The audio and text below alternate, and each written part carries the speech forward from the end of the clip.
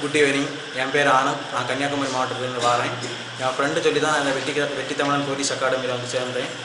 இங்கே பார்த்தீங்கன்னா எனக்கு சைக்காலஜினாலே கொஞ்சம் பயம்.